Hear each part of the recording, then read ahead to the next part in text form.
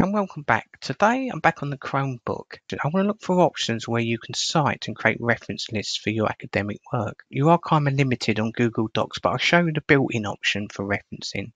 But you can also use RefWorks that integrates because it's cloud-based with Google Docs. And you can get that sometimes free with the place where you're doing your, your studies, but not always.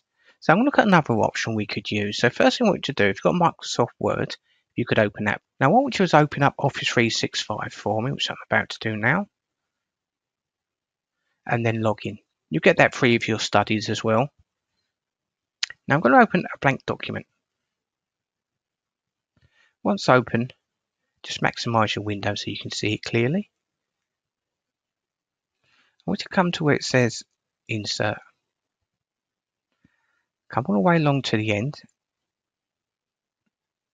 and select for me add-ins.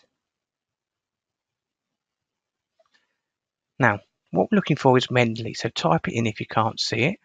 Tap on it. And I want you to select add. So we're going to add this to Microsoft Word. And now you can see the plugins now available. So if I actually tap on it, you can see it opening up on the right. Now with your sources using this on Chromebook, it saves a lot of your sources into OneDrive for you. And you know you've got massive storage free with that as well. So come to the right. Now, you might not get this up yet because you haven't set up your Mendeley. So I'm going to click the three little dots there. I'm already signed in. So you're going to have to sign in or create an account. So I want you to open a new tab if you haven't already done this. Type Mendeley in there for me and select the top option. And then at the top here, I want you to create a free account. Once you create your free account, you'll then be able to access it. Now remember, you can't download it on Chromebook, but once you have logged in, it will bring up this window for you here. And that way, we can do searches internally with Mendeley for sources. But if I come top right, there's my profile and there's my library. And this is where you can be storing all your sources that you access online. And there's a couple I've got there already.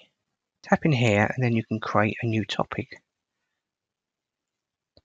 So I'm just going to pop in health and click the enter key. And there it is, now ready to go. Now I need to find some sources to add. So what I need to do is come back out of there for me, top left hand corner, it takes you back to Mendeley search. Now I reckon a good idea here is to split them. So what I mean by this, you can add this to your favourites, top right. Let me show you what I mean. I'm going to minimise that and drag that over and drag one of those tabs off so I can see them both. So I'm going to drag that on the other side. And that way we can lock them in by dragging them all the way to the left.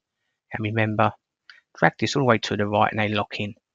So now I've got a few options. If I come to the right, I could tap on that and leave that on my library. So when I do my research on the left, I can access the library and see what I'm doing. So I've got my health folder here. So let's do a bit of research on health. I'll pop anything in. I'll pop the heart in. And there's some sources. Also tells you on the right here, for example, 64 citations, 861 readers. So you can scroll down, find the source that you feel you want to use. Open source means you can access the journal as well, be it a PDF or whatever format that might be. Now you might say, do you know, look at that, I'm just going to add that to the library now. So I'll select it and look to the right. It's now added it. So what we can do then is drag it into the folder you want. So I'm just going to drag that down to help and pop it in there. And then you might carry on. And you might get to one you actually want to read as well. So I'm going to select heart failure and COVID-19. So again, you can go down there and even view the PDF. So if I bring up the PDF, you can actually download and view the PDF. But remember, when you're downloading it, you'll be downloading it either to your Google Drive or the storage on your Chromebook. Now I've got an additional video on this. I'll leave the link underneath if you want to know more about using the online Mendeley. But I'm going to come back out there. And I'm going to add that to my library as well. And again, you'll see it appear on the right. You can see why I split the screens now. It just makes life a little bit easier. And again, I can hold the left button and drag that into the folder that I want. And there we go. I've got myself a couple of sources to start working with. There's another option here I haven't shown you yet. So I'm doing a new tab at the top. If you get Mendeley Importer, you can grab sources and PDFs from different. So type in there for me, Mendeley Importer. And there it is. Select it there to install. And follow all prompts. And add to Chrome. And add extension. You can see at the top now, I can access it. Just do a two finger tap on it and select manage extension just to make sure it's turned on. And yes, it is, it's on. It's good to go. I'll show you that in a minute as well. So there you go. Grab the couple of sources. Then I decide actually I want to go an external source. So this time I'm going to go to Google Scholar, for example. Open up the link. And again, do a search. So shall we stick with the heart topic? And you've been on Google Scholar before. It's really good, but you have to do a lot of reading to find the sources you want. It's pretty mixed. Now again, we've got the options down here cited how many times related articles you can also access. But I'm just going to select that option, Heart of Darkness. Don't if that's any relevance, but just to show you. Now we've got a couple of options here, and I'm not quite sure what this will be a book. It's like a book, doesn't it? But I don't know whether this book's got an ISBN number to be identified. But I'm going to select this little option here, Mendeley Importer. Make sure you leave that a while till it actually comes up. And there we go, we've got a journal article there, and we've also got the web page that I could tick. So now I'm going to select Add. It says it's failed. If you look, it hasn't failed, it's there. And then again, I can drag that into my folder again and organize it in my library and select close. Come back out there.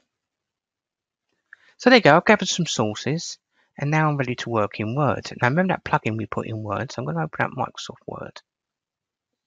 And I'm going to actually maximize that so we can see that more clearly. And it should now sync with all those sources that we've just added online.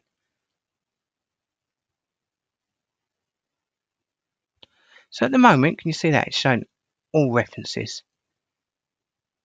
Can you see it's come up Heart of Darkness, Heart Failure, and there's my sources underneath. So now I can start citing my work. So if I go back to my online references and scroll down, go to my library, I can look at my sources. Let's go to health. Tap on it and on the right you've got all your information. So now I could get the PDF, accompanied that. And here it is on the left. Just remember, look at my other video on this and it'll show you how to use this. I'm just giving you a quick overview. Now, there might be something in there that you actually want to cite. So I'm just going to copy anything as an example. Control C to copy. I'm going to go back to Word. I'm going to paste it into there. We're going to cite it. Control V. Now the cursor at the end, choose your source here. I'm going to use this by ticking it. Now we're ready to insert citation. Before you do, you need citation style at the top there. Scroll down and find your citation style. If you're not using APA, which is more for psychology as well as sociology, select another style and type it in there. So I'm going to type in Harvard. Scroll down. I'm just going to use any for this example and use Bournemouth University style and select Update Citation Style. And there we go.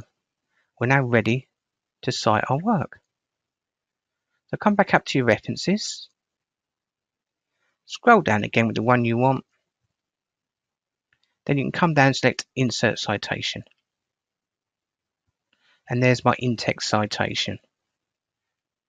If I scroll down, you notice there's no bibliography or reference list yet.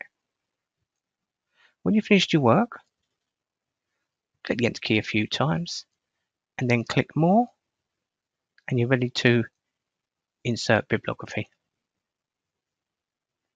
And select wherever you put the cursor, and the bibliography will be inserted there.